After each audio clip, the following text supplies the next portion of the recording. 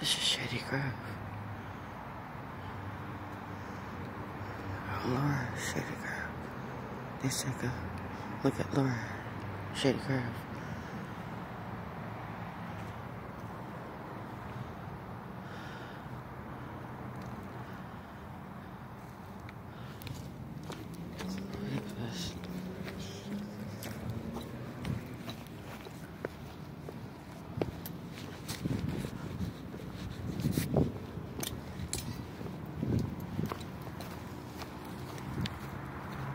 81